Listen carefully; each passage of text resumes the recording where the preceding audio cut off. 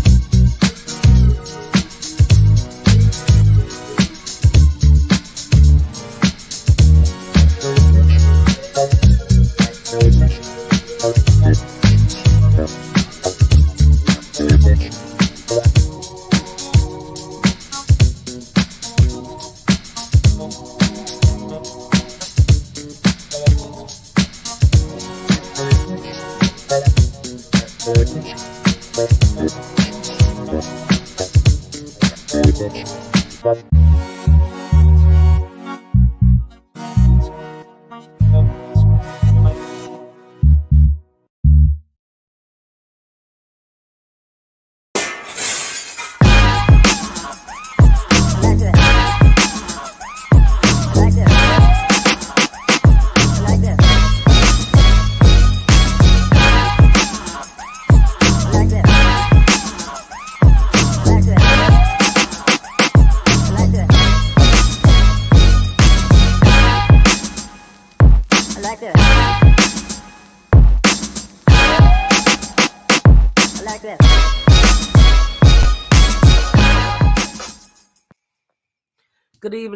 Welcome to Beyond the Gatekeepers. I am Bishop elect Vanessa M. Brown, and I'm your host and moderator for this evening. I am looking forward to this great conversation on tonight. And we want to thank all of our social media platforms that we're on tonight. And so if you're on Facebook, you can go to Beyond the Gatekeepers page or Bishop Yvette Flunder's page. Uh, or Kara Solutions page. You can go on YouTube to uh, Beyond the Gatekeepers page or Kara Solutions page. You can go on Twitter to Beyond the Gatekeepers page. You can go on LinkedIn to uh, Kara Solutions page. So we're just all over the place on social media. We ask that you join in, that you let somebody know that this conversation is taking place. And so you know what we like to do we like to find out where everyone is from. First of all, we say good evening to everyone and we say welcome. We're so glad that you are here. I see people online already. T Mark is in the house. Good evening to you, brother. Ronnie Jordan from Rancho Cucamonga, California is here. Uh, Bishop elect Sonia Williams is here from the ATL and happy 14th church anniversary rim. God bless you all. Uh, uh, we have Marlene McLaurin here uh, from Baltimore uh, Linda Lillian Cruz DeBrew from Highland Park, New Jersey. Glad that you're here on this evening. Miami, Florida. Sanita is here. Thank you for watching, everyone. Latasha from ATL is here. I see you, Sarah Welch Pomerantz from Cedar Grove, New Jersey. Welcome. Yes, T Mark. Durham, North Carolina is in the house. Tanya Dully is here from North Carolina. We're so great to see you. We ask that you continue to share this Facebook Live uh, because we want to make sure that everybody is a part of this conversation. Uh, Chicago is here. I see you, Nate Tucker, Karen Coleman. Boston is in the house.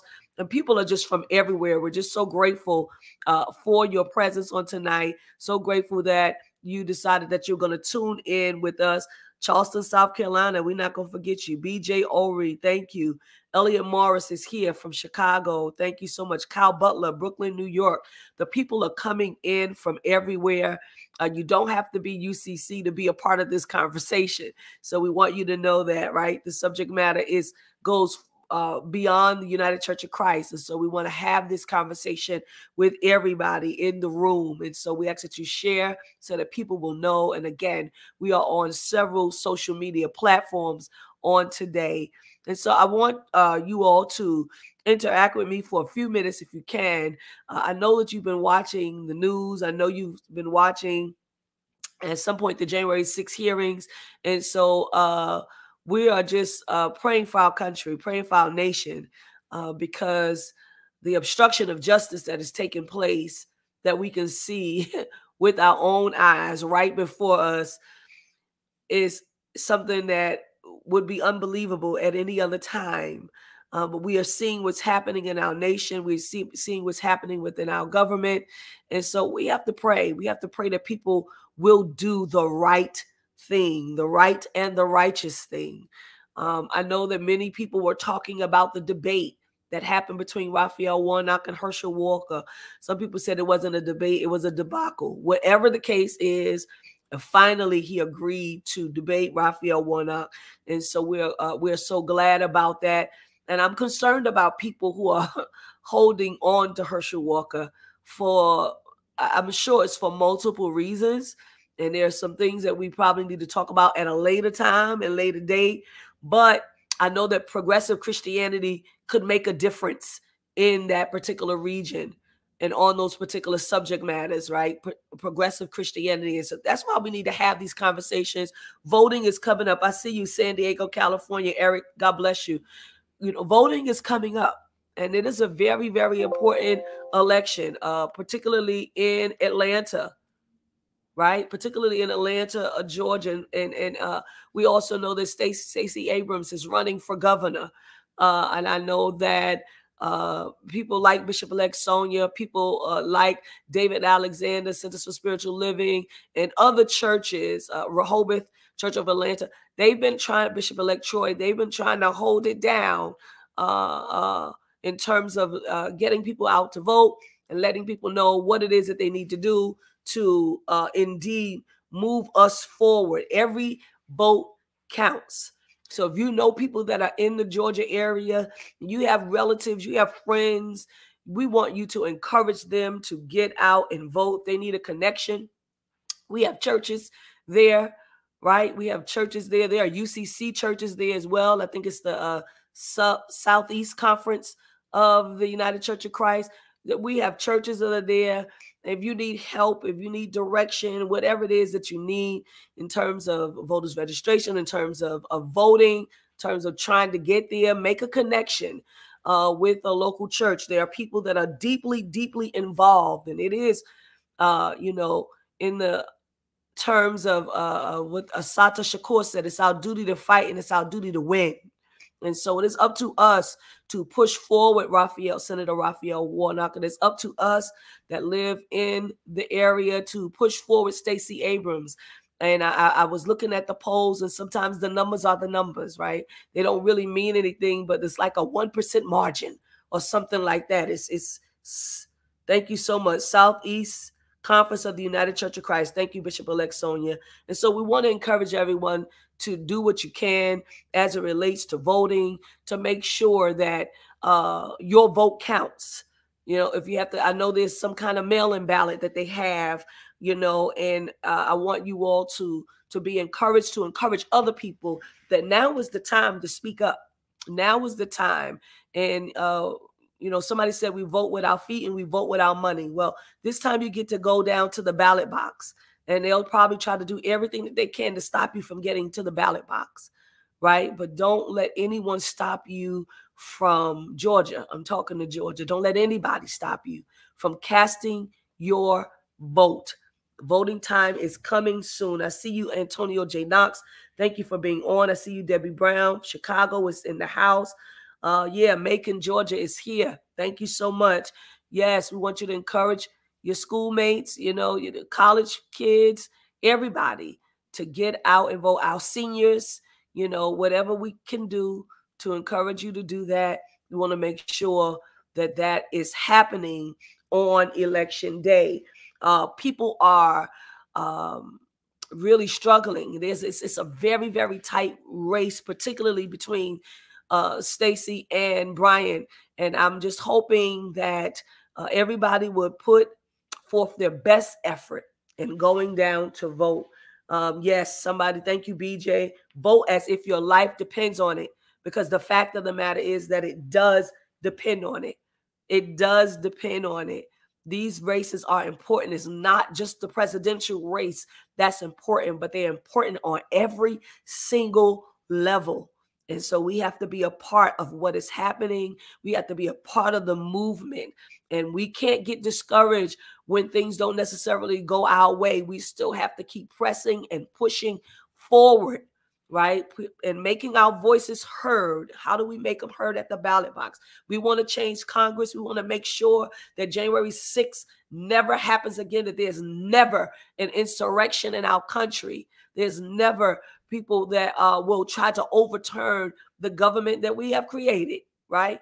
And so it is up to us to do what we need to do. Yes, our vote counts. I see you, Louis Carlos Knox. God bless you, voting like our lives are at stake because they are, right? And so I know that, I mean, I encourage our young people, and I know that our young people, our millennials, are going to turn out. They are ready for change. We are ready for change. And so uh, we support Georgia. And whatever we can do from whatever our local states are, we want to make sure that we can do those things to make sure the vote is getting out. So let me go on. I see you, Diane Bobbitt. Thank you so much, Minister Bobbitt, Dinah Chapman. Vote, vote, vote. I want y'all to make sure everybody put it in your chats and your comment section. Vote, vote, vote, vote, vote. Let's do that let's move on with this conversation on tonight. Uh, we we we know that it's going to be a rich conversation, and so we look forward to having this conversation on tonight. Tonight, we have Reverend Dr. John C. Dorhauer. He is the General Minister and President of the United Church of Christ. And we have Reverend Darrell Goodwin. He's the Executive Conference Minister for the Southern New England Conference of the United Church of Christ. And so we want to bring them both in on tonight. Bishop Flunder will be in with us shortly. Thank you so much, Dr. Dorhauer. Thank you so much, Reverend Darrell Goodwin. It is a pleasure to have you both here with us tonight. Well, Bishop elect, it's a true honor to be here, and especially with my dear friend Darrell. So happy to be here. Awesome. And so Bishop Flunder is here, and we uh, certainly, she doesn't need an introduction, but we will introduce her. She's the presiding prelate of the Fellowship of Affirming Ministries and the senior pastor of City of Refuge United Church of Christ in Oakland, California for the last 30 years. And so Bishop Flunder is here. We're so happy to have her on tonight. I see you, Deacon Ryan. Uh, yeah, early voting going on in, in Ohio. Yes, everybody is doing what they're supposed to do. This is so important. God bless you tonight. Bishop Flunder, how are you? so this is a dangerous crowd right here. This is a dangerous crowd. This is a this is crowd. a danger. This is a world changing moment right here. This is a world changing moment. Yes, We're so very is. glad to have both of these gentlemen here with us yes. on tonight and to engage in this conversation. Yes, yes, uh, yes. Uh, for such a time as this. For such a time as this. For such a time as this. This is the time to have this conversation around progressive uh, Christianity in, in endemic times. Yes. So we've moved past the pandemic into endemic times. And so we're so glad to have you here. And yes. so, uh, Bishop Flunder, if you would talk a little bit um, and try to frame this conversation for us tonight, that would be wonderful. Well, I'm very grateful to be uh, in the presence of these brothers and, and sons. Uh, how wonderful it is, how good and how pleasant it is to dwell together in unity. I, I am very grateful because we have uh, traveled together on many paths. Uh, we have experienced together uh, the realities of the time that we live in, all of the things that have been uh, consumed and regurgitated by bad religion. Uh, we have had to, together and separately, and then together again in some ways, speak into this atmosphere what God does require. What does God require? But that we do justice and love mercy and walk humbly before God. I got a phone call a couple nights ago, again at, at midnight, Bishop William Barber. You know, he likes to call me. Uh, either we'll call it late night or faux day, as my grandmother used to call it, faux day in the morning. But we were having a conversation um, about a text of scripture that um, I used a couple times in the recent past. Um, they that wait upon God will renew their strength. They will mount up with wings as eagles. They will run, not, not be weary. They will walk and not grow. And they won't faint. They won't grow faint. And I told him, I said, uh, when we were preaching last time I was at Spelman a few days ago, I said that the order seems to be inappropriate.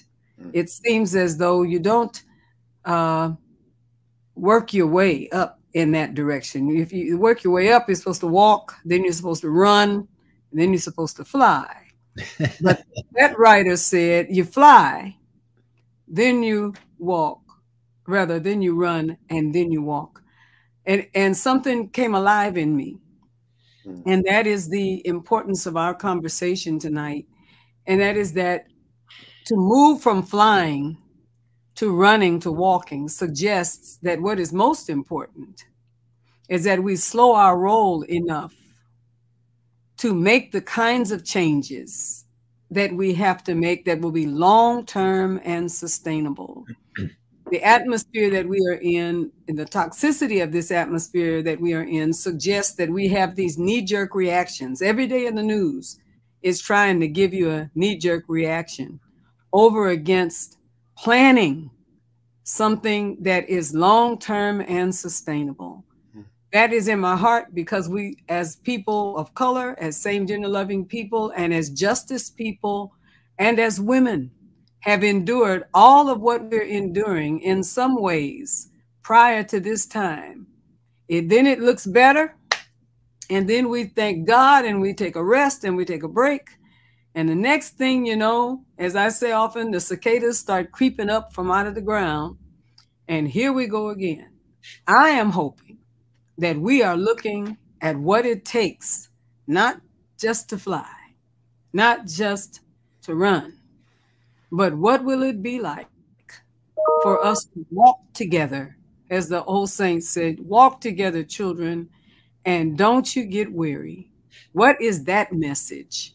to the church? What is the real systemic change that will be long lasting and sustainable?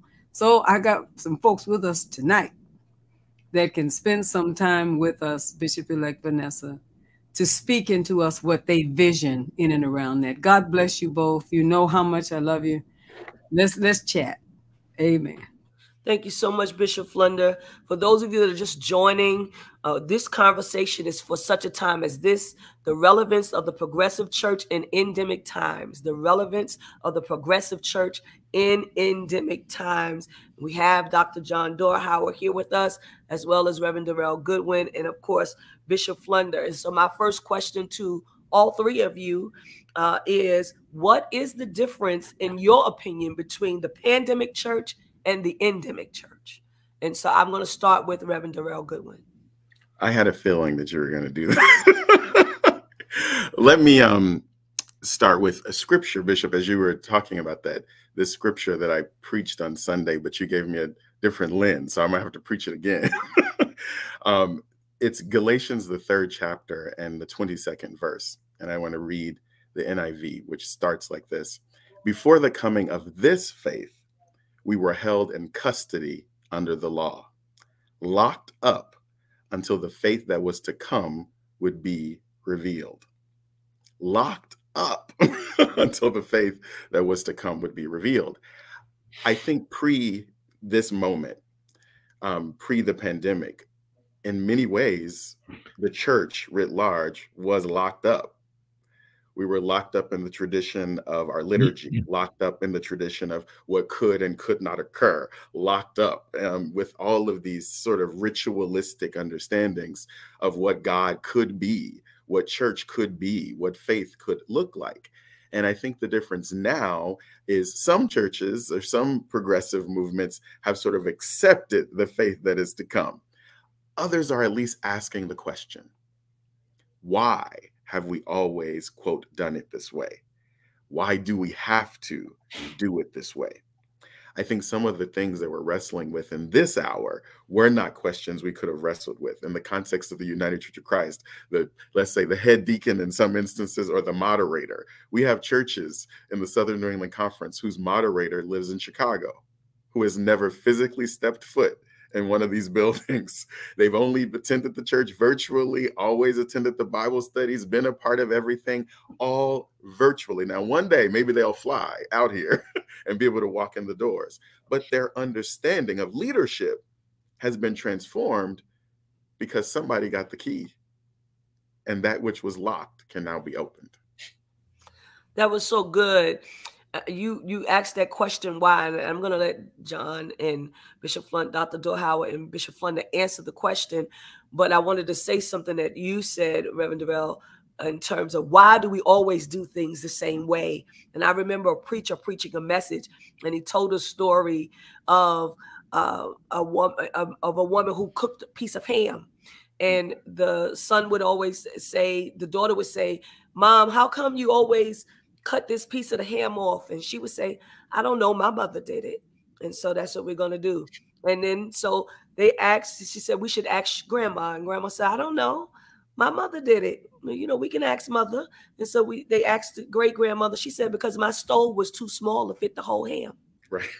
And so for all of these years, they have been doing things a particular way, but not no real rhyme or reason to it, and actually wasting a good piece of meat. And so Dr. Dorhauer. What a perfect story, Bishop elect, to tell, to analogize the state of the church.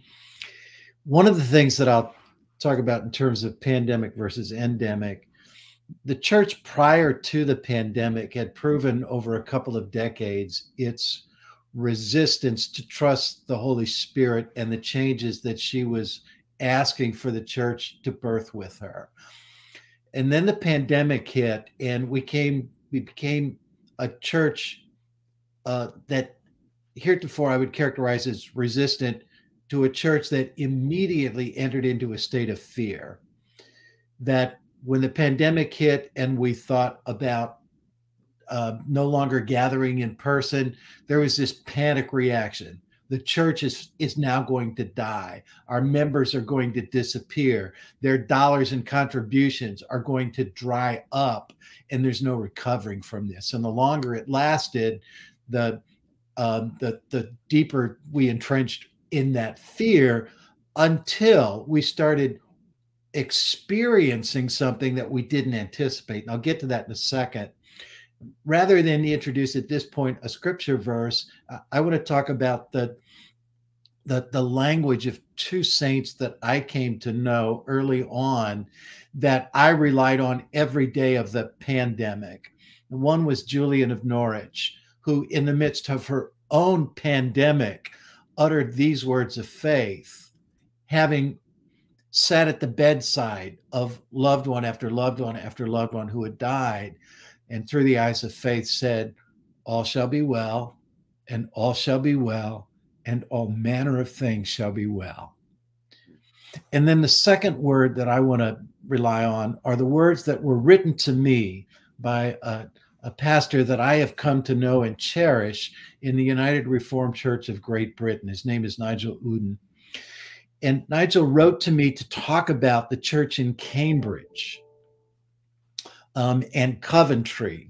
Um, and in particular, and he serves the church in Cambridge, but he wanted to, to share with me the story of the church in Coventry, which was carpet bombed by the Germans in the Second World War, and the cathedral just literally lay in ruins.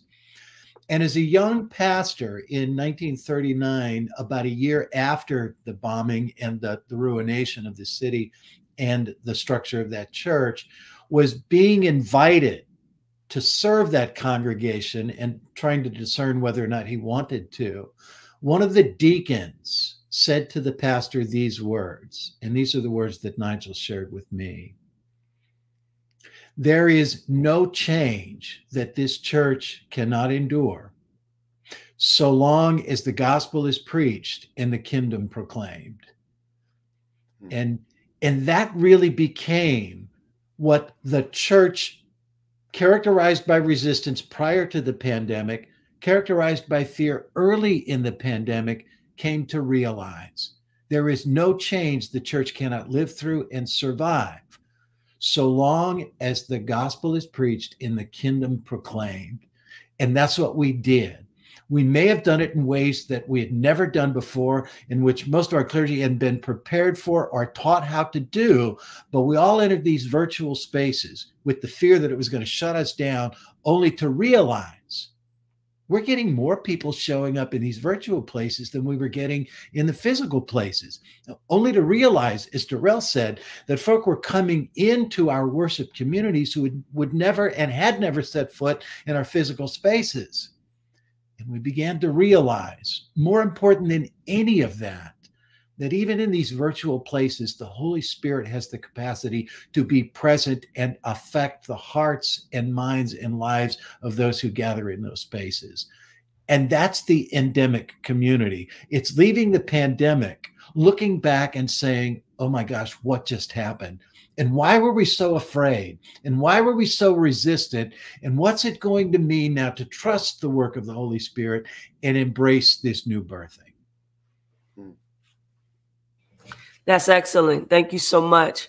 Uh, I want to read a comment before Bishop Flunder uh, comments. It says, this is Bishop elect Sonia. Now the church must stop trying to commandeer the judgment seat and humble themselves enough to sit on the mercy seat. Mm. I love that. Bishop Flunder. That's good. Yeah. Well, that's almost altar call talk right there. That's um, here's here's what I hope that we learn um, because we, this is not the first. This is the newest in many reformations that we have experienced. Thanks be to God for multiple reformations. Imagine what we would still be doing if if we had not, you know. And the, I think the question that I have is: Are we ready to use this particular reformation or enter into this particular reformation with the intention of really first hearing the voice of God in good and of really creating systemic change. And I know that I had there's there's a way that the spirit of God in works in me sometimes to radicalize things, and I'm I'm clear about that. I'm very I'm very clear again that we need a new canon. Um, I'm very clear about that. And there are people that, that get Preach. it, preach. Yeah, you know what I mean. They get real upset with me when I say it, but I tell them that in one of the other many reformations, a group of people said something is missing and we need to do more with what we have. And we have too many great writers. Some we've already echoed their writings, that in some way those writings need to be pulled together. And in some way, we need to do whatever we need to do to sanctify those writings and so that the people of our future will not lose some of what is the writings of the pandemic because this has been an incredible time of both writing and reading and putting things together that speak to the time that we are in. So I think this is the third testament moment. I think it is that reformation, frankly. I think that it is also offering us an, a time to take a good hard look at why we do what we do. And a beautiful denomination, organization like the United Church of Christ, which is new and young comparatively as it relates to others, right? I think we already have reached the point that we are doing things and we're not altogether sure why we do what we do the way we do. And that means that we are at least middle aged okay because it's at middle age when you just start doing stuff because that's just the way like like bishop like vanessa was saying that's just the way that we do how we do what we do. And I'm very happy to be a part of the United Church of Christ. But I don't have any trouble reminding us that I almost didn't make it. Almost. I was one vote shy of the Committee on Ministry Aid. and I never would have made it. One more person had decided that my emergence from my Method Baptist experience, you know, that the the prophetic call to liberate the people most marginalized by church and society, the ways in which my congregation cared for me and I cared for them. There were folks that said that they just couldn't, they wouldn't, and I couldn't. And that was basically but one vote off. So the, the question that I ask, and I ask now, let's take a good hard look at why we do what we do and not reach middle age such that we are unable to make the shifts that these times call for and make them gently so that they're also not concretized. Yep. If we leave open enough room and space on the playground, as somebody said to me, we were talking about children and gender. I said to them, put a bunch of toys in the middle of the playground and let the children go for what intrigues them. Don't tell them that these the pink toys are the girl toys and the blue toys are the boy toys. Just let them go and grab what blesses them and let's see what comes of it, right? I think that we are old enough as a denomination, all of us are part of that, but we are also citizens of the will of the divine in a more broad and universal way. And we have an eye on that and a heart for that, right? So I think it is good for us to be good with being different.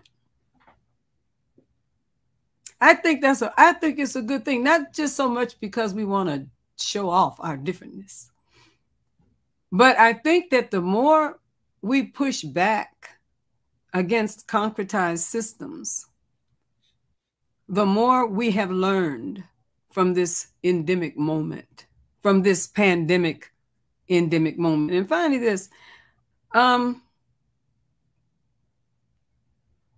I don't think that we really smell enough of the, the stench of time because it doesn't take long to get stuck. It really does not. It is amazing. And, and I have to say, again, it went slow. Time went slow for me when I was 15, 20. Come on now. Oh, yeah. Uh, you remember when time was slow? I 30. do. When summer seemed to last forever. Do you remember that, Doc? Now do summer's a week and it's gone and it's October. Somebody says we're not going to do so and so until next year. And two weeks later, it's next year. It's next year. And nobody thought that I, was going to happen. Twice, and my son graduated from college. Do you see? Very and it's getting worse and worse over time, right? And then we begin to feel that, well, I'm just going to get in it and ride it. And we forget that we are called to be change agents. So, yes, yeah.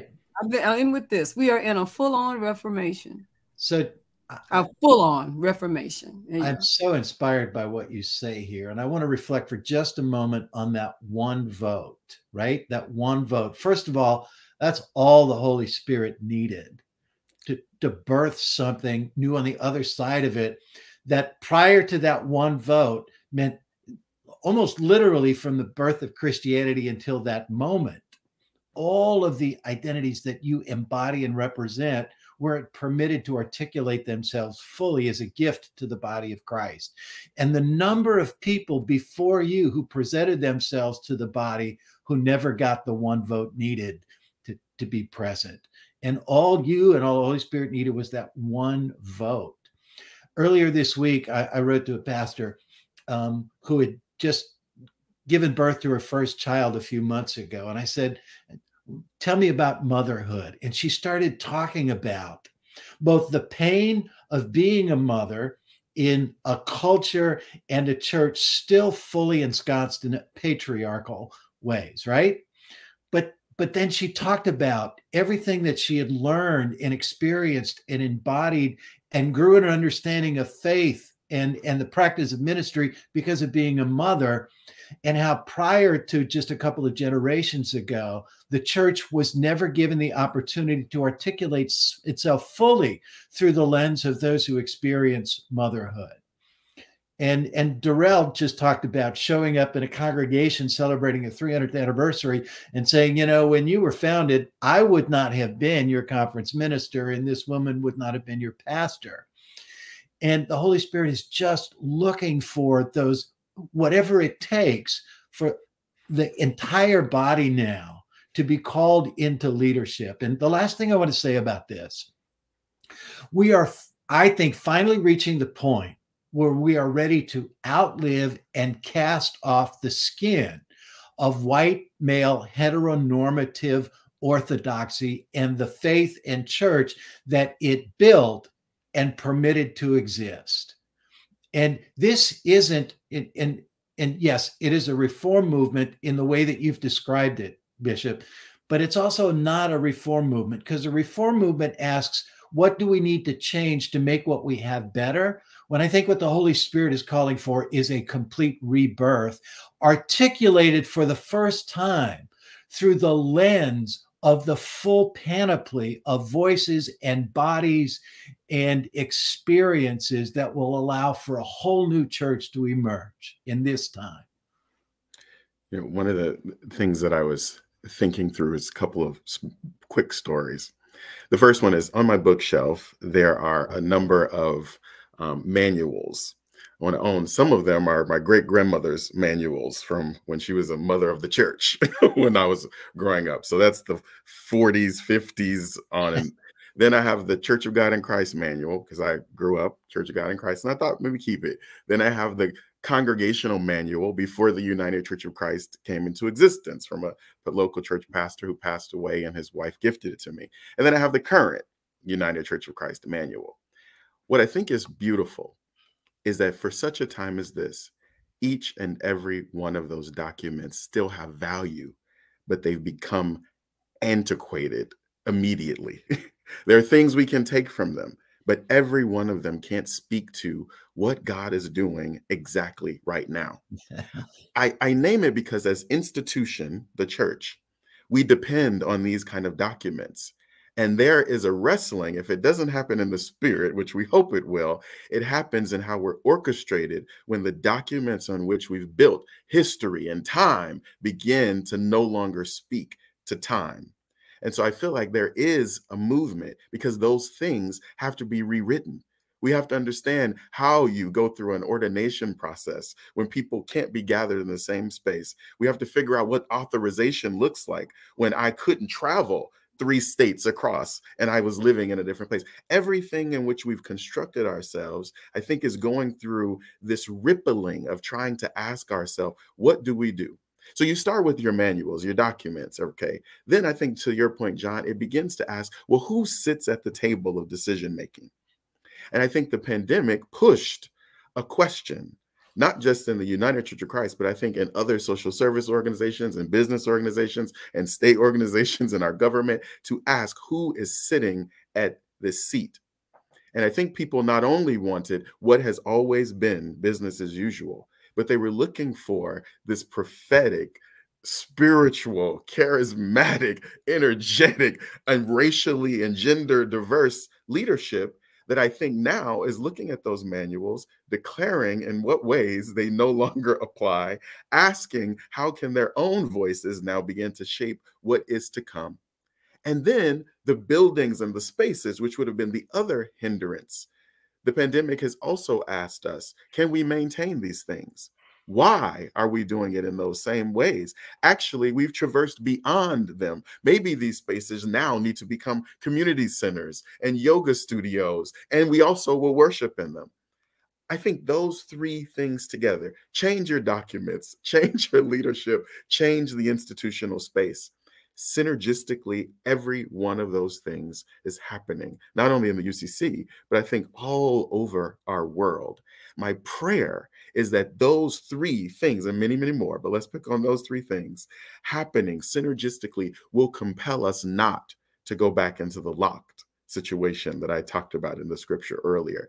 That's where I have hope that's where I have joy. That's where I see fruition. I did name to this church on Sunday that was celebrating 300 years. 300 years ago, I would not have been elected as the conference minister of the Southern New England Conference, our largest conference. I'll be honest with you, I also wouldn't have been elected in 2019. There was something about 2020 and the desire to seek something that was not what has been that has mm. allowed this moment and it's happening all around us. The last time I was with you two and Bishop elect, you were there as well, but with you, uh, John, and with you, Bishop, we it was 2019, sitting at the, the Fellowship of Affirming Ministries gathering, talking about the future of the church. Yeah. And what it could be. And here we are now. Wow.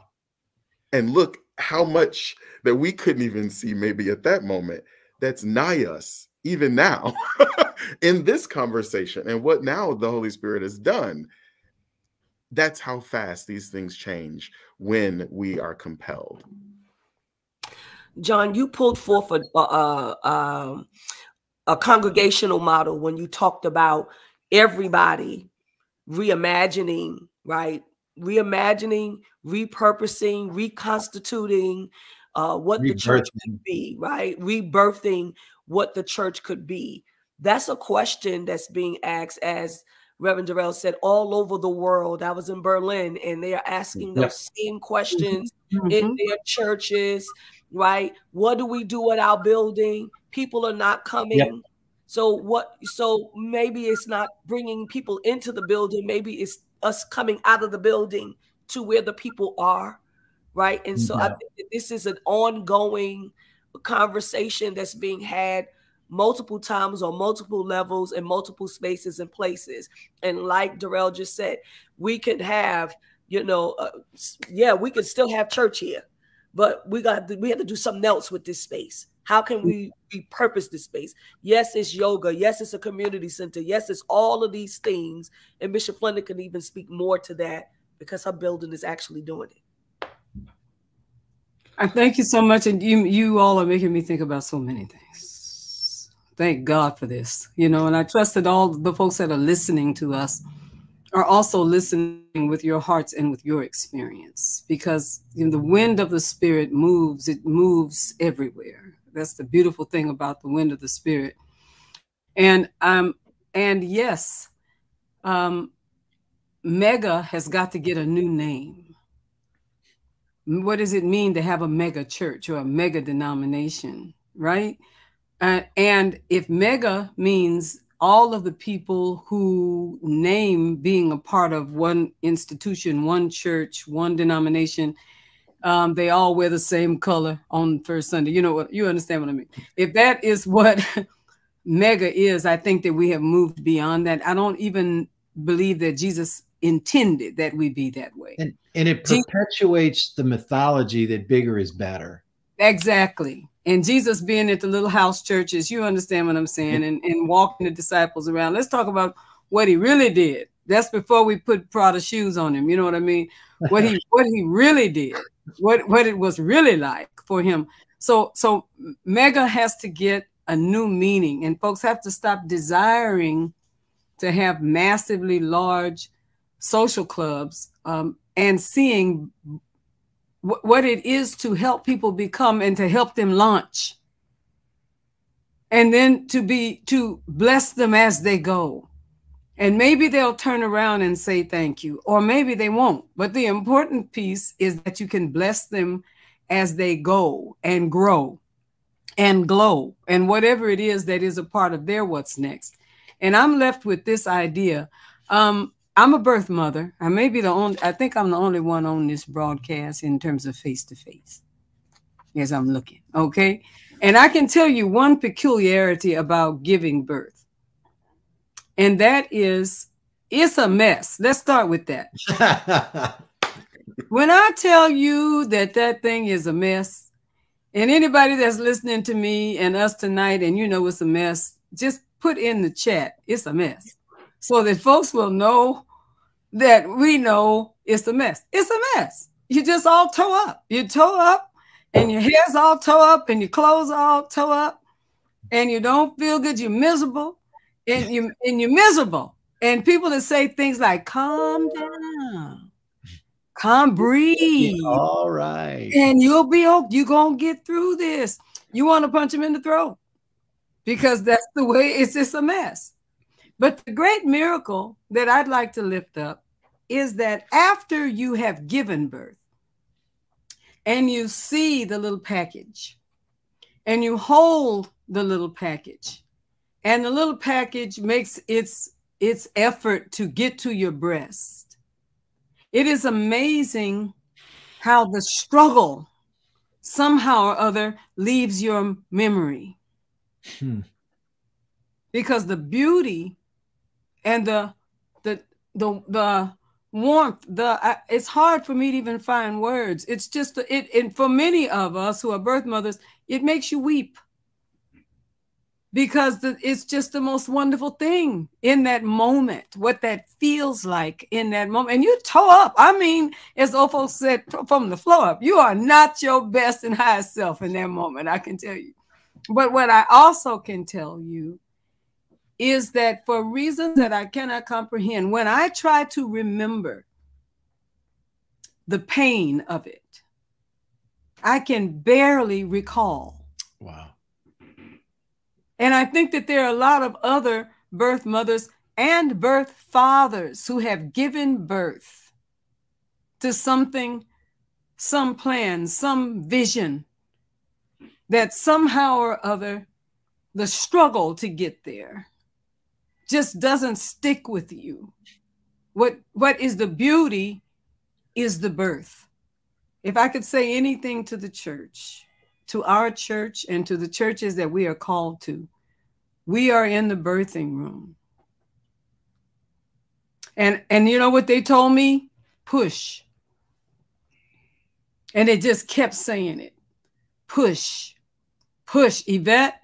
You have got to push because you're about to give birth. If there was any message that I could really offer right now to us as a denomination and to all of those who are concerned with what it is that God and good is doing in this moment, we're going to have to push and push and push and push until what is the real purpose for this time really comes to pass, and it will, as God lives.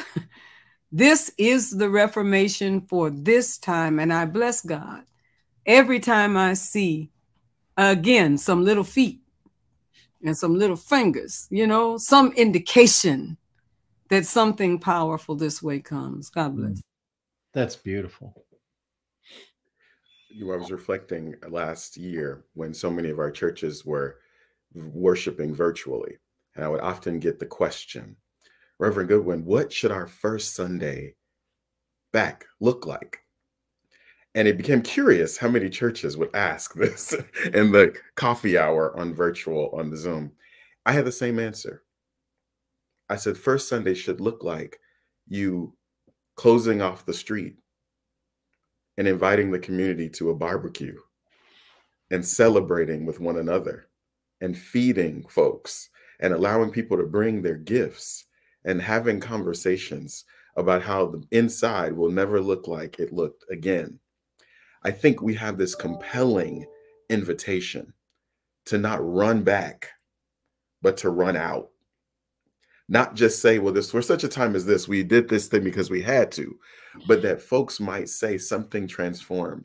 As a local church pastor, I often would say, I want the type of church in the future, and I was a church start pastor, that doesn't look like anything that I created.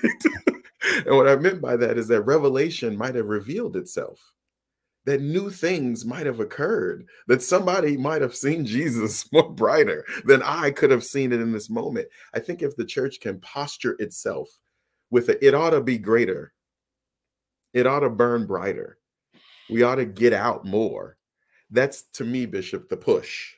The push to say, never again can we stay stagnant. Every new iteration of this should ought to be stretching us towards something greater. I think that to me, and it doesn't eclipse us, right? We've done the work, every one of us. has founded churches, pastored churches, led things. Glory be to God for what he's done. But those who are coming now and those who come in the future ought to do greater. It ought to be brighter. Things ought to be renewed in ways that not one of us here in this moment could even imagine. If it doesn't do that, then I think we didn't push. We just went back in the doors, locked them again, and waited for another quote reformation. And Bishop, you say you have to be raggedy to give birth. Say more about that. it's not cute. that's I that's what I hear uh, Reverend Reverend Goodwin saying. It's not cute. You know, if we're not used to receiving everybody, we're it terrifies us. We're afraid that we're going to say something wrong. You know, we'll make the black people mad, or we'll make the women mad, or we'll make the gay folks mad. we're gonna make the gay people going to be hostile. You know, it's raggedy. It is raggedy, but that is necessary. And you know, I just came from Chicago. Bishop Elect Vanessa was with me. We were there for a week. And when people came to talk to us after the sermon moment, as their, their as their uh, pastor pastor in residence for a week, came to talk to us about this the service moment, they were very apprehensive because they didn't want to say anything to my female, same gender loving African American self that might upset me, if you understand. And and and they were very cautious. And sometimes in the middle of the conversation, they and, and Bishop Elect Vanessa was with me, they would break and weep. And and I would break. And we would the the communication then went from trying to be politically correct to shedding tears together. And and that's what I mean. I, that's what I hear Reverend Darrell saying. Raggedy. It's it it's we can't really spend a lot of time trying to be unnecessarily careful. Because you can't speak my language. And you've heard me say it many times you don't understand chitlins. You can't you can't speak my language. Because if you never walked a mile in my shoes and i've never walked a mile in yours how are we really but that's not that is not the foundational principle of love Love suffereth long and is kind. Doesn't envy. It does, you know, that's love is a very different concept than just being precious and sweet. If you understand what I'm saying, it's much deeper than okay. I said that. So, Bishop, what occurs to me as you speak into the the air here, the air that we breathe, you can't speak my words, you can't speak my language is that what we've inherited is both a culture and a church where the white man believed that was exactly what he had the right to do. And to force his language on you and to take your language out of your mouth and replace it with his, which is why the Spirit is calling for the birthing of a new church where every voice, every voice can be honored and heard and in the articulation of and in the receiving of that voice allow others who don't speak that language to be transformed by it and because of it so that we all impact one another as children of the living god. And that is such what a beautiful way to articulate that. You cannot speak my language. We we have a thank you so much bishop flunder dr dorhauer and reverend darrell we have a question on the floor from one of the audience members. And they said, with the churches that have closed due to pan- the pandemic and have their buildings sitting, what would you say to those dry bones, especially when you're not part of the denomination? And any one of you all can take, or all of you all can answer. Oh, go ahead, John.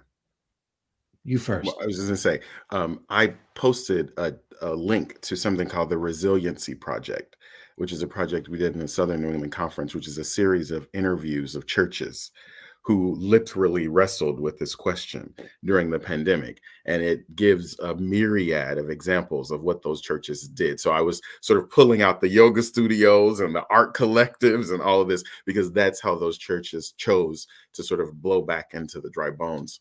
One of the things I'm asking every church to think about right now is three B's, and I'll give you one for free. Be relevant I think that's the question that every faith community, every organization has to ask itself. How do we be relevant? And being relevant means asking the community in which you are situated, how can we partner to walk alongside each other? And so, if the community needs a daycare, then the building becomes a daycare. If the community needs a concert hall, then the church becomes the concert. You become that thing which is needed to be relevant? And I think that's the question that sometimes the church has taken sort of a, a, a look away at. If we just simply ask that, now it's going to be uncomfortable because don't ask it. it says, Don't call on the name of the Lord because God will come as a refiner's fire and a fuller's soap. If we ask the community, how can we as a faith community be relevant? I think we'll get very uncomfortable with the answer, but it will breathe the dry will breathe, breathe the spirit back into the dry bones, which at this moment is a lot of buildings all over this country, for example, be relevant. The, the, the beauty of answering that question at a time like this is there is now a, a growing list, a large growing list of churches who are doing exactly what Darrell just described, who are repurposing their buildings as a as stewards of the resources entrusted to them for the sake of a mission they believe in. And if we're to borrow Darrell's language here, mission that's relevant to the community in which they're located. And so, one of the ways to respond to this is just to talk about what some of those communities are already doing. Uh, a church in Memphis, Tennessee, that now has 33 community mission organizations housed in their building and property. And I'm not going to talk about all 33 of them, but my two favorite are a, a, young man from the neighborhood who goes around and collects discarded bicycles and has this entire empty basement now filled with old discarded bike parts and then works with children in the neighborhood to put the pieces together to build a bike that they get to take home with them. Um, and a second ministry uh, run by a woman who teaches belly dancing, Middle Eastern woman, only to women who have been sexually abused or assaulted, as a way of a way of reclaiming their bodies as sacred and using their bodies to articulate their emotions and feelings in ways that they claim as their own. That's an example. There's uh, St uh, Peters in Louisville, Kentucky, oh. Jamesetta Ferguson, the pastor, who turned their empty, unused parking lot into a strip mall in the poorest part of the zip code, where for 25, 30 years, no business had chosen to move, and got the Chamber of Commerce and the city of Louisville and the state of Kentucky and even some federal dollars to help fund this and has changed the economic outlook. And now the city of Louisville doesn't want that church to die, sees it as an historic and and essential part of the community, and is granting the church two and a half million dollars to restore their sanctuary so that it can come to life again. And and they're it's sort of in a very organic way they're feeding each other. And we could spend the rest of the evening listing examples of churches that are doing this. But it is about becoming relevant and it is about understanding the building not as the end in itself, but only as a resource that you steward for the sake of a mission that makes you relevant in the community. John, I just want to quickly lift up. I went to a church last week in Cleveland, uh, well, a former church, um, a church that was bought out by a refugee resettlement community. And the women from all these countries who are refugees are making candles with scents from their native country. Yes. And let me tell you, some of the best smelling candles I've ever had in my life. But the point was, it wasn't just about let's use the building to co opt somebody else's culture and make them do the thing that we want them to do. But these women now have learned a skill. They're bringing scents from their own cultural heritage, and then they will make the profits off of them. Yeah. So they got their own candle making build uh, business of essences of their culture. And I think these are the kind of ways in which if you want to talk about renewal, that's that church saying nobody's here. We're not using this building, but we can gift it. That's and beautiful. now a community is filling that up, and it's right down the street. I'll send you the address. I, just I'd love to go down and meet them. we have churches that are using taking parts of unused parts of their property yes and converting them to community gardens and having the community come in and and and we're talking about places in what are now recognized as food deserts yes. and the community is planting and nurturing and and and the church is converting their property into now a, a, a renewable asset for the community so many things See, this is something I understand as you as you know, well, you know my heart. You know, this is something that I understand. But and and in so many ways has been the life of City of Refuge. And and and it has been the life of City of Refuge because we are ex an exiled people. And when you I believe this. I believe that when you are an exiled people, as, as, women leaders, as LGBT people, as people of African descent, in, in terms of primary numbers, it's not all we are, but it is a goodly portion of, of who we are. There's something that can open you up to the needs of other people. Uh, because as, as one old missionary, she was from uh, Philadelphia, uh, around the world, um, from Bishop Taylor's church. And she came to City, City of Refuge when we first started over in San Francisco in the little room that we were in. And she came and she put me to the side. She said, Now, Yvette, that's the way she said it she said, God ain't going to give you yours like God gives it to other people. Mm. That's not the way you're going to get it. That's what she told me. I said, so tell me more. God ain't going to give it to himself. I mean, but in my heart, I understood that what she was saying to me, don't even try to go down that path because that's not the path. So I would say to those that are hearing us tonight, Imagine the church having clear glass walls. What does that mean? So that you can truly see what is in the community and where the needs are that have been expressed here tonight in types of things to do. But the, the community can clearly see you. So that we move beyond this private, you know, special club with with bible verses that we move beyond that to being completely exposed in our humanity in our needs and then having people feel free to completely expose themselves to us. So synergistically we can serve one another. It's not just about us serving them. I because i hear that. But it also includes them serving us, them being a part of increasing and improving and in helping us that are a part of the inside of the church. Because God in heaven knows we need help too in several different ways. And I'll also say this. Someone asked me the question the other day. We were having this conversation about all of the pomp and circumstance that happened around the memorials when Queen when Queen Elizabeth died. And it was incredible. And the pageantry was just it was just incredible. I'm just very glad that they just allow me to go ahead and say because I'll get on get in trouble, but I'm gonna say it anyway. I'm just very glad they didn't invite Donald Trump because he'd have been fighting with somebody to get in the in Queen's coach. But anyway, I think that what what is important is the beauty of it. It was incredible how they loved her. Even the ones that didn't love her, love her, loved the pageantry and everything that was surrounding it. But in the middle of all of that beauty were those significant blood diamonds that were in her crown and in the jewelry that the women in the family wore that were a part of the blood diamonds.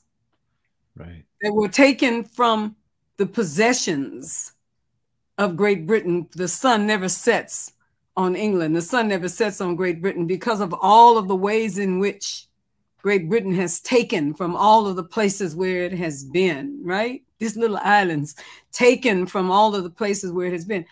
What I would have loved to see at the end of all of that pageantry would have been the royal family saying outright that we are going to return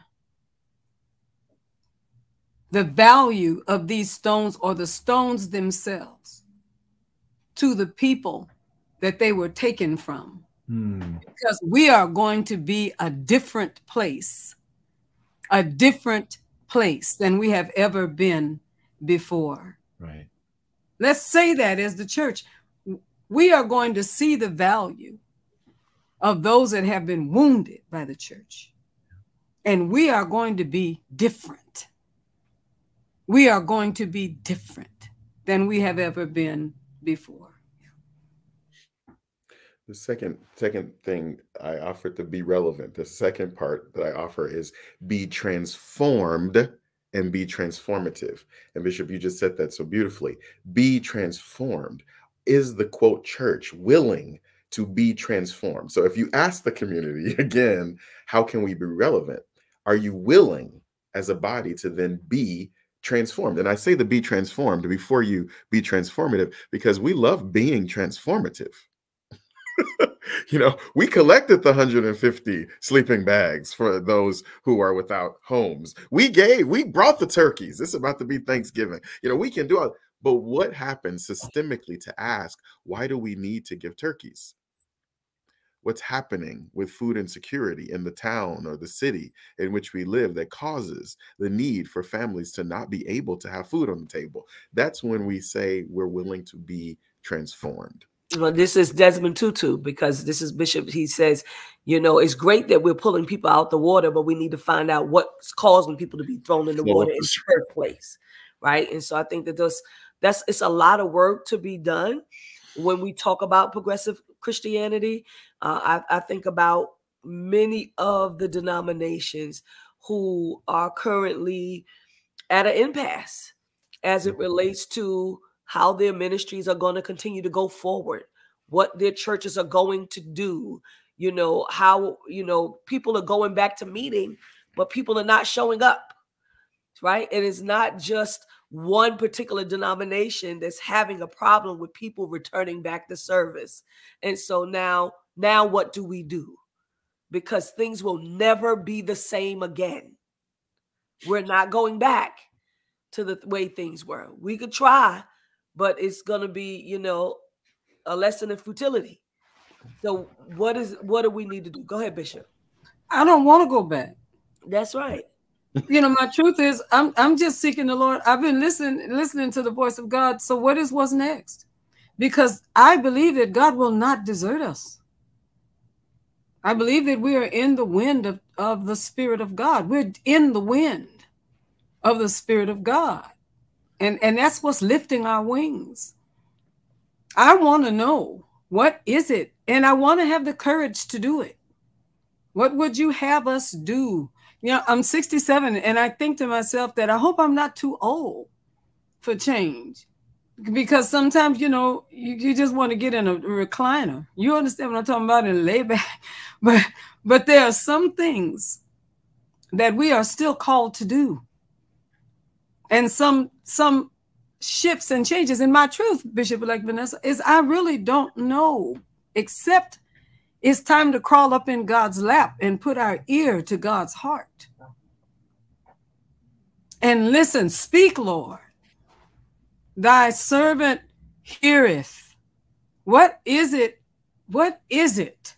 It's not the Barna's group's job to find it. I think that it is our responsibility to put our ear because because nobody knew that we were going to have even the big predictors did not know that the evangelical church was going to lose its stone cold crazy mind We didn't, we didn't, you know, we knew that they could turn into something, but we certainly didn't knew, know that they were going to get in bed with Donald Trump. Nobody would have been able to make me believe that. I think it's important to tell the truth That's by right. saying we don't know. We don't know. We don't know. And our young people, our young people are asking the question.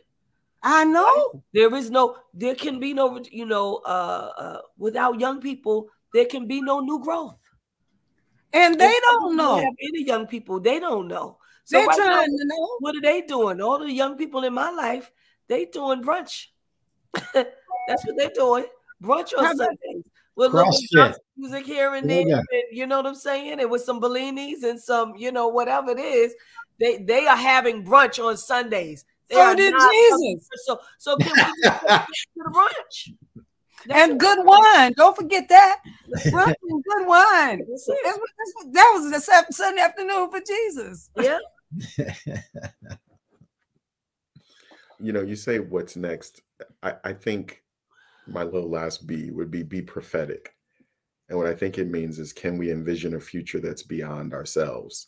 Uh, I'm gonna get in trouble for this. My future, I see a combined UCC, MCC, DOC, TFAM, all of it. I see stopping the boundaries and the the brocades we've put up and all of that. I think if you're gonna do something to change the world and you all want to try to do it together, you better band together because what I what you talked about in terms of this other rhetoric yeah. is people have merged over hate, and we can't merge over love. I mean, they've banded together millions of dollars to hate folk. And that we so squirreling our piece and squirreling this piece over here. Don't do that too much because I can't handle you doing this over here. I think it's time. I mean, then prophetically, I think it's about asking where can we blur the lines that we've never been willing to blur them? Where can we break open every single barrier that we've said? Okay, I'll tell this quick thing. I was at a church recently where the pastor informed me, Reverend Goodwin, just please understand that people will not be dancing and clapping in the aisles this Sunday. and I think that wasn't my intention necessarily, but okay. So I get to the church and I preach my sermon. And let me tell you, the Harvard trained pianist started playing a song that she hadn't planned to play. and then people literally, and I, I kid you not, actually started clapping and dancing in the aisles. And now, after the service, the Harvard trained pianist came to me to say, I'm sorry, Juilliard trained. She said, I don't know what happened to me. I mm. just started, I just felt this song and I started playing it. And the pastor was weeping and didn't understand it. For me, it was the possibility that this congregational church might also find the Holy Ghost. Like to me, that's breaking the barriers. That's saying Juilliard can teach me how to play a song that I didn't know that I had to play. It means that I can dance and clap in the aisles when I wasn't anticipating that. It also means that I can be reflective and contemplative and hold it prophetically if we get ourselves together. Hallelujah. David uh, uh, uh, Alexander get ourselves together. David Alexander said, and some new thought as well, Reverend Darrell. He's ready. Come on, new thought. Come on, Dave. David. You know you and I. Come on. Yes. he's, he's a greater, greater coalitions, and he's and, a Holy Ghost filled new thought preacher. Yes. That's what it is. I'm yes, I've seen him dance. I want new thought people. David Alexander is a dancing new thought. yes, and then That's someone right. said that it's time for progressive Christian denominations to come together. And they are 100% right. If they could come together like they did for Donald Trump, we can come together and do what we need to do for ourselves, progressive denominations. And it doesn't matter whose building it is. If your building is suffering, you know what I mean? Then TFAM and an MCC church can come into a UCC church. UCC can come over to a TFAM church. It, it needs to be some kind of cross pollination happening uh, for the better of all of us right? Our communities, our children, the future of our children, everyone. Yes, Bishop. And all the beats get in there, the two and the four and the one and the three, then all the clapping happens. Right. Essentially, if all of us, we can do this. We can. I love that. Well, you know, I pray for a, a mega convocation. I pray for a con- convocation that brings all of the even the Methodists that are looking for a home now. That's right. That brings all of the people who really have a heart for justice. Yeah. To come together in one one large gathering and declare both with our presence, yeah, with our preaching, with our praying, yes. with our money, that we are people of justice. I absolutely would love to see something powerful like that I, I believe it can happen. Yes, we both said it. I think it's it's there. It's right. It's like right there. Right. It just takes the takes the somebody says Bishop Elect says yes, Azusa three. It just takes the right minds to come together and say, hey, we're gonna do this. It doesn't matter who's on first, who's on second, who's on third. We're gonna do this together and this is how it's going to work and this is what it's going to look like so i am just incredibly excited about uh, the direction that we're going in i'm going to ask that Dr. Dorhauer, uh, Reverend Darrell, and Bishop Flunder give us last some last thoughts, some last things that you want to say around this conversation. Because I know that if we don't do it now, then we're going to lose our time. We're going to lose our momentum. It's not going to come again. And so this is it. This is the time. The time is now. Uh, Reverend Darrell? I wanted wisdom to go before beauty. Okay, so I'm going to say the things I said earlier. I think the church at this moment is called to be relevant, to be transformed, and to be transformative, and to be prophetic. I want to serve in a church that has broken its walls, that has ended its barriers, we say we want that where there's a God didn't put a period, where there's a comma and all this, but we have to mean it. We have to mean that the epistles are still being written. We have to mean that the boxes no longer apply. We have to mean that God is greater than anything we could have ever imagined before and walk towards it. So, alongside you, Bishop elect Brown and Bishop Flunder and Reverend Dr. John, I want to walk into a synod one day where we see the denominations come together and say, we will no longer, that they all may be one. I believe that was a prophetic statement that I hope will come to pass in our lifetime, not somebody else. I'm telling God, I want to enjoy that. I'll end on that. Dr. Dorhauer? So, do two things real quick. The, the first is I think we're fast approaching the time when denominations won't be what identify your walk of faith, that it will be whether or not you orient your faith along the axis of fear or the axis of love. And a faith that orients, orients itself along the axis of fear is going to look a lot like the Christ, brand of Christian nationalism we see articulated now that looks at somebody different and and uh, is afraid of what they see and needs to shape their world in such a way that they're protected from that as opposed to an orientation of love where you look at what's around you and articulate your gratitude to God for for giving you the opportunity to be a part of this and see this and stand alongside of that. And I think by the end of the 21st century, we'll, we won't recognize disciple or UCC or MCC or fellowship. We'll recognize the difference between religion that orients itself along the axis of love and religion that orients itself along the axis of fear. And then the second thing I want to say is uh, there are three verbs that I use for the church as we're living through this season of change. The first is play uh, have a spirit of play about this. Um, there are things that somebody can do to harm the church, but there's nothing that you can do to break the church that the Holy Spirit can't renew and fix. So play. The second verb is fail. Be take risks big enough that you're not guaranteed to get it right the first time. And if your risks aren't big enough that you're failing often, um, then take bigger risks uh, because the Holy Spirit needs us to break quickly out of these chains that have bound us for too long. So take big risk and be comfortable with your failures and learn from them. Fail often, fail quick. And then the third is hope.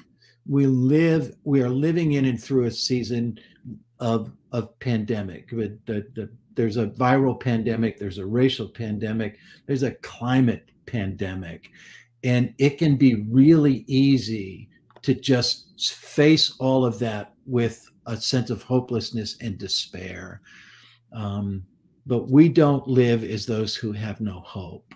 We are a resurrection people, and we can't stop looking, believing about the future that it's going to be better. Beautifully said, Dr. Dorhauer. Bishop Flunder.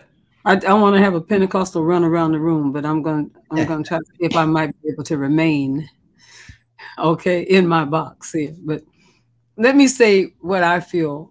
Um, and Jesus asked the disciples, "Who do people say that I am?" Right? And there were different, I'm sure, different murmurings and different things. I'm sure it was some things that the writers didn't write about that the people said about Jesus. I'm pretty sure about that. Who do who you say that I am? Thou, you are the Christ, the Son of the living God, right? And then and then the response, then upon this rock, I will build my church and the gates of hell and the gates of hell prevail and the gates of hell shall not prevail against it. And i think that what is failing is what it is that we are calling church is not church because the gates of hell shall not prevail against the church. What we have to do is rediscover what is the church. If it is being destroyed, it is not the church.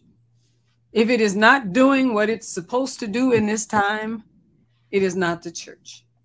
If it's not caring for those who are the most disadvantaged, it is not the church. If it is not speaking truth to power with courage, it is not the church because the gates of hell shall not prevail against the church. My heart says we need to rediscover what is the church and what are we about doing when we are being the church. Thank you so much, Bishop Flunder. I see your post, uh, Reverend Darrell. You said you invite any of you to come and grow with us in the Southern New England Conference. We have churches that need folks ready to chart what's next, and you give a link. And so that is so powerful. Apply, apply, apply. We got a lot apply, of churches. apply, apply. Apply. Praise God. Amen. Apply, apply, apply. And so want to thank you, Dr. Dorhauer. Want to thank you, Reverend Goodwin want to thank you, Bishop Flunder, for being here with us on tonight for this powerful conversation. I know people are, I see people still commenting, still taking stuff away. I know that people will go back and play the replay, share it with your congregations, uh, uh, share it with other denominations as well. This is a this is a, a, bishop always says, y'all come. This is y'all come. This is everybody coming. So this is the kind of conversations that we have. We see you, Tara Barber. Thank you so much for uh, how you three the three of you have impacted this conversation in such a powerful way. We're going to move to our advertisement and we're going to ask that Bishop Flunder will give the first announcement. God bless all of you. We are so glad always to be in the company of our beloved who come to be a part of this conversation and to vision with us, to vision together. What is the will of the divine for us moving forward? And I want to encourage you to help us, to help us support the gatekeepers and to grow. I believe that God intends growth in the kind of way in which we are being the church as the gatekeepers. Please support our broadcast by sending a donation via Cash App to dollar sign TFAM annual, T F A M A N N U A L, or by PayPal, www.paypal.me forward slash TFAM Justice.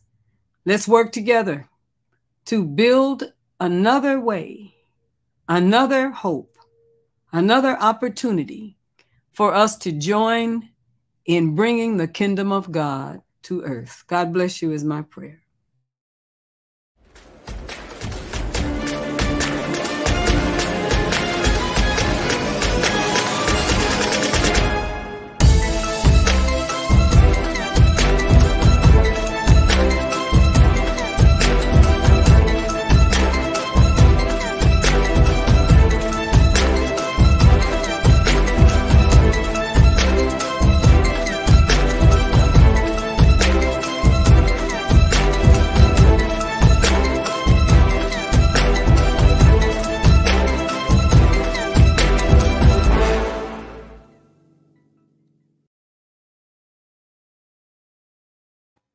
Thank you, Dominic. Thank you, Bullet and Flight Radio. We appreciate your support. If you want to listen to uh, Beyond the Gatekeepers, you can listen to the to us on Bullet and Flight Radio.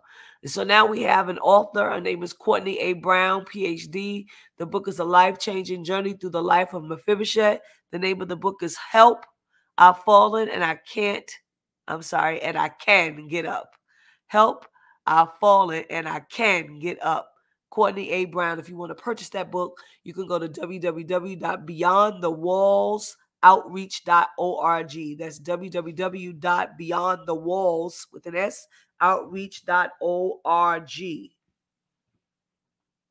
Rim Fellowship United Church of Christ, where their senior pastor is Bishop elect Sonia E. Williams. They have just celebrated their 14th church anniversary, and they are inviting you to continue to join them on a weekly basis. Tuesday night is Bible study, Wednesday is morning prayer. They have children's church, and if you need more information, uh, you can go to their website. Their website is www.rimatl.org. That's www.rim atl.org. Their service starts at 1 p.m. 1 p.m. And then uh, if you are wanting to give to them in any way, you can go to their Cash App, it's dollar sign Rim Church, or to their Facebook Live, which is Rim Fellowship UCC. Uh, you can email them if you like. Their email address is rimatlanta at gmail.com. Thank you so much for your support, Rim Fellowship United Church of Christ, Bishop elect Sonia E. Williams. And we have Antonio Mattier. He's the lifestyle realtor. He's saying donate to your church. Lifestyle Global Properties will donate 10% of the commission earned from uh, your real estate transaction to your choice of City of Refuge, COR, or TFAM in your name when you utilize their brokerage to purchase or sell a property residential or commercial in California or Georgia. So please, you can look up Antonio Mattier. His uh, email address is antonio at antoniomattier.com, or you can go to his website at www.antoniomattier.com. Please support Black businesses. We have the Healing Place Apothecary. It is the uh, business of Nubian Flunder, who is the daughter of our presiding bishop. She is the founder uh, of this particular company. It is the Healing Place Apothecary. You can go to the website at www.thpapothecary.com to purchase products for your skin. Uh, she has black soap, rose water, Rocher souffle, daily greens, daily fruit, root oil, so many other things. Please make your purchase. Uh, support black businesses. Then we have Sky Michelle. Sky Michelle's tees and things where kid is the boss. And everybody knows that Sky Michelle has a t-shirt company. She does customization. Follow her on Facebook and on Instagram at I am Sky Michelle. And you can go to her website at www.skymichelle.com you will know that this is Breast Cancer Awareness Month. And during this month, she has wonderful t shirts up. If you want to purchase a t shirt to support someone uh, with breast cancer, someone who is fighting breast cancer, or just to support uh, $5 of whatever you purchase will go to uh, the Susan Komen Foundation. Thank you so much. Support Black businesses. And we have Inspire. It's returning on November 5th uh, by Cara, highlighting BIPOC entrepreneurs, influencers, and creatives on a mission to change their communities and the world. The host is Sue A. Weberly. She's the founder of Cara Solutions LLC. You can watch her live on Facebook, on uh, LinkedIn, on YouTube, and on Twitter as well. You can you can listen later on Spotify, Amazon Music, and Google Podcasts. And so uh, there's a Linktree that you can look at, and it just says Linktree uh hyphen, I'm sorry, forward slash watch inspire. Thank you for supporting black businesses. Advertise with Beyond the Gatekeepers. You can do that by emailing us beyond the gatekeepers show at gmail.com. That's beyond the gatekeepers show at gmail.com. Thank you so much for joining us tonight. Uh, we say God bless you. Have a wonderful evening, and we will see you next week.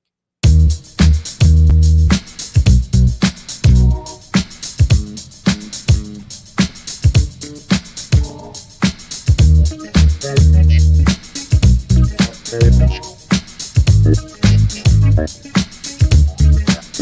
you.